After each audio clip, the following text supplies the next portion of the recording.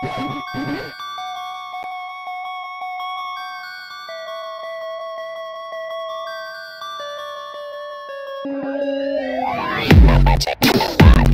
gonna kiss a rock.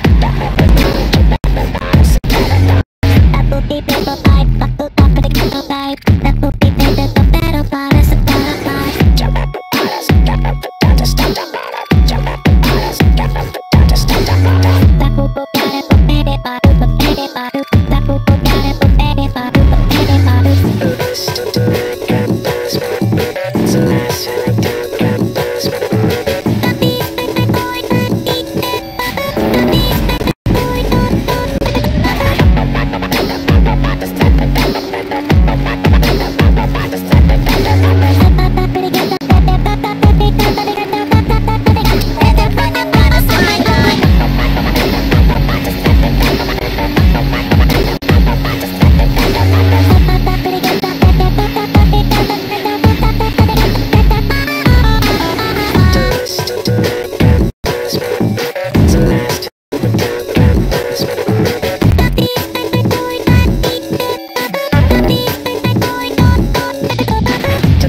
Thank you.